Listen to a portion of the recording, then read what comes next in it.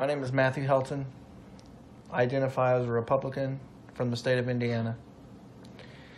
In 2016, I voted for Donald Trump. I voted for Donald Trump because, as a Christian male, I was always taught that the Republican Party is what the Christians, quote unquote, should vote for. That they stood for decency, they stood for equality, they, they stood for rights of all humankind.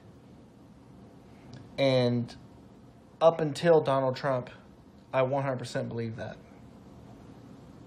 When Charlottesville happened, that's when my opinion has changed. I was hesitant on going in to 2016 and casting my vote for Donald Trump. Very hesitant. But I decided, you know what, I need to rest with my Christian values and vote for the Republican. When Charlottesville happened, I was done. At that point, Donald Trump said that there's good people on both sides. Completely not true. If you sow hate and if you sow division, then you're not a good person.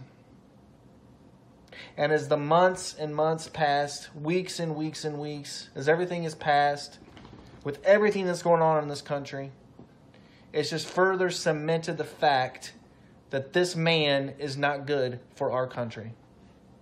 Come 2020, I am not voting for Donald Trump. My vote is going to Joe Biden because I want to restore character in this country. And not only is my vote going for Joe Biden, it's going Democrat right down the line. Because point blank period, if you are for Donald Trump, I am against you. I consider myself a Republican, but I'm not a Trumplican.